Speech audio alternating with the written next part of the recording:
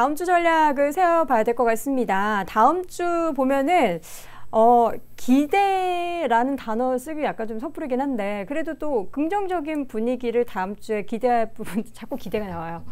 나오긴 할 것 같아요. 그렇죠? 뭐 여러 가지 지표 내용도 좀 예상이 괜찮고 이게 뭔가 미국과 중국 간에 이 이후에 정말 부정적인 발언만 주말 사이에 없다면 어떨까요? 괜찮을까요? 그렇죠. 괜찮아야죠. 더 나빠지면 안 되죠. 일단 다음 주 발표되는 경제 지표들을 좀 보겠습니다. 네.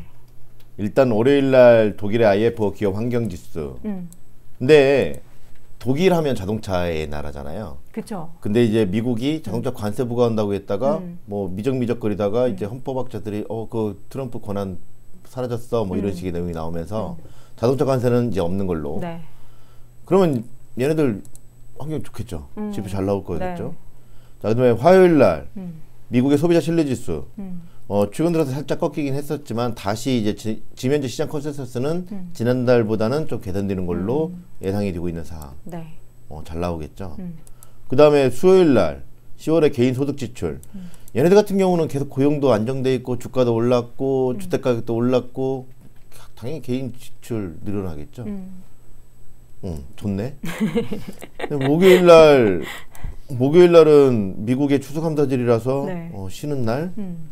금요일 날은 블랙 프라이데이인데 뭐 시카고 PMI나 이런 것들 뭐 발표되겠지만 어저께 여러 가지 지역 연은 총, 그 지역 연은의 경제 지표들 보면 나쁘지 않네. 음.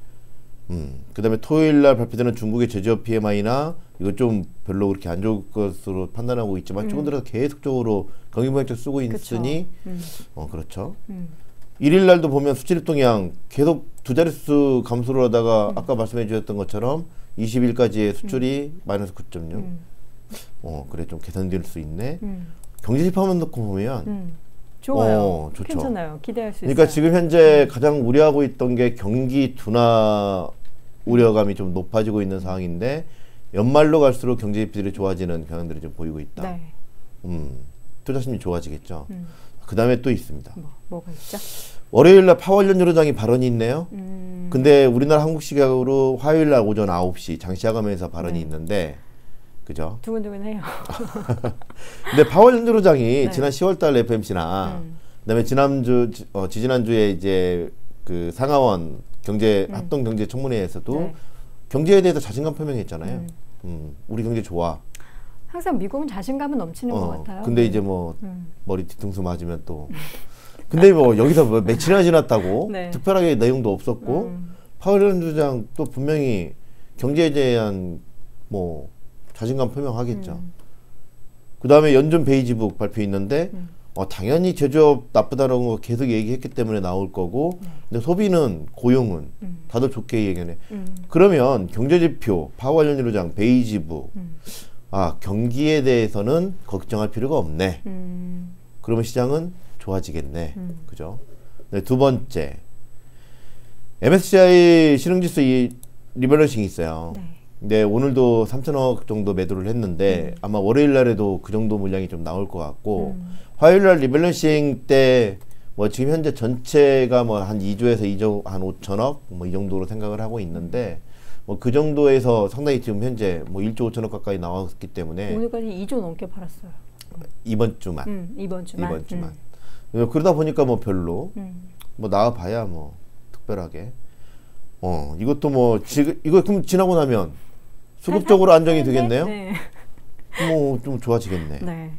근데 미국 블랙 프라이데이 음. 원래 이게 그 전주에 있어야 되는데 네. 이게 그 우연찮게 목요일 날이 이제 뒤로 미뤄지면서 추수감사절이 일주일 뒤로 미뤄진 음. 네. 거거든요. 그래서 원래 미국의 연말 쇼핑 시즌이라 함은 음. 추수감사절부터 성탄절까지 네.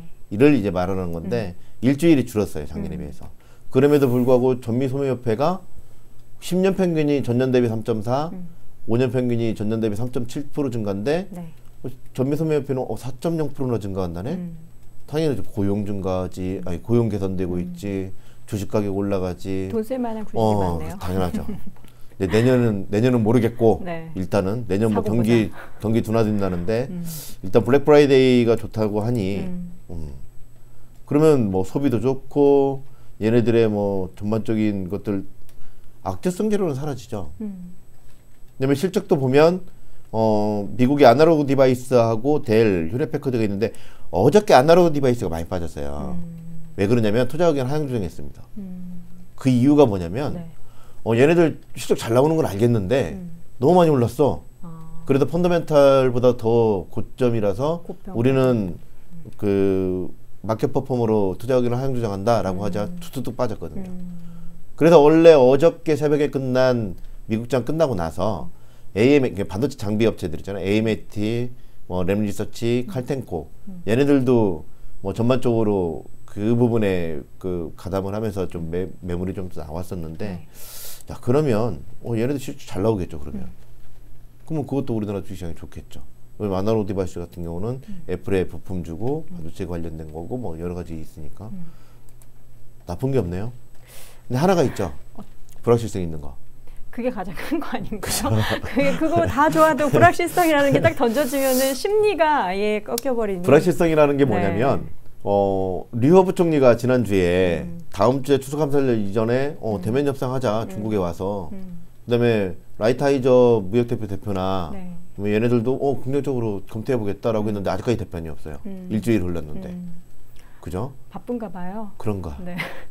그래가지고 네. 만약에 그렇게 중국에서 요구를 했는데 음. 안 간다. 음. 뭔가 있는 거죠. 그러면 이제 조금 그렇죠. 네. 그러면 이제 매물이 나올 수가 있겠죠. 음. 아니면 이제 간다는 것만 나와도 월요일 날 화요일 날 만약에 그렇게 되면 월요일 날 화요일 날 예정돼 있을 건데 월요일 날 화요일 날 얘네들이 만나 가지고 또 취급하고 싸우진 않겠죠. 추수감사절인데 음. 그죠? 해피하게 마무리해야죠. 해피하게 마무리해야죠. 예. 네. 이게 보통 얘네들 같은 경우는 미국은 목요일 날 휴장이고 금요일 날 반장만 열려요. 음. 어 근데 보통 이제 그러면 다 놀러 가거든요. 그쵸. 휴가 쓰고. 그러면 연휴 기간 동안 일하는데 아, 긴 연휴를 앞두고 중국 한번 갔다 오는 것도 음. 괜찮죠. 아, 미리 나, 가기 위해서 이렇게 나- 그렇죠. 늦추거나 뭐 이러진 않겠죠? 그렇죠. 그런데 이제 뭐 갔다 왔는데 뭐 이상한 소리를 하고 뭐 취급하고 싸우진 않겠죠. 음. 뭐 그렇다면 이게 기대인 거죠. 그거는 희망.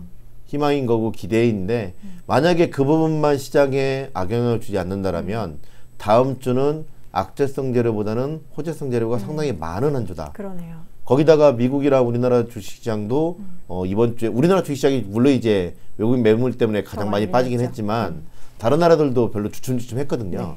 그렇다면 다음 주에 경기 개선세라든지 음. 여러 가지 조건들로 인해서 반등을 모색할 수 있다는 점도 배제할 수 없다는 점 때문에 음. 조금은 긍정적으로 강세장을 좀 예상을 해보면 좋을 것 같습니다. 알겠습니다. 오늘 현재 마감 상황 체크를 해드리도록 할게요. 코스피 지수는 0.26% 5포인트대 상승하며 2100선 회복하며 2101포인트, 2101.96포인트에서 마감이 됐고요. 코스닥 지수 0.33% 2포인트대 하락한 633포인트 선에서 오늘 마감이 됐습니다. 자, 오늘 어, 내일장 마감 전략까지 확인을 해봤고요. 오늘은 어, 서상현 팀장님과 함께 심수빈 연구원과 함께 이야기를 나눠봤습니다. 두 분 고맙습니다. 감사합니다.